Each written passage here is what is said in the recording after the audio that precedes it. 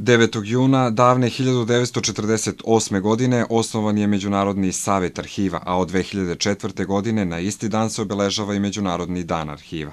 Po prvi put ove godine obelažen je u Pirotskom istorijskom arhivu.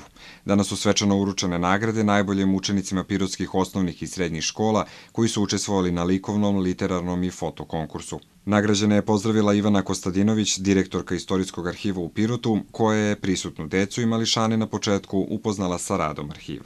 U toku dana posle dodele nagrada deci će biti predstavljena prezentacija o radu Istorijskog arhiva. Moći će da pitaju naše istoričare, arhiviste o najstarim dokumentima, o tome kako se čuva arhivska građa, šta je to arhivska građa, na koji način se brine o njoj, ko brine o njoj, kako se sve to radi i zapravo to i jeste promovisanje ovog dana, Međunarodnog dana arhiva. Planiramo da sa tim radovima napravimo krajem godine jedan zbornik učeničkih radova. Kako kaže direktorka Kostadinović, pored Dana istorijskog arhiva u Pirotu koji se obeležava novembra meseca, zalagaće se da i obeležavanje Međunarodnog dana arhiva postane tradicija. Na konkursu je ukupno pristiglo 130 radova, a nagrade je uručio Vidojko Paniotović, zamenik gradonačelnika Pirota.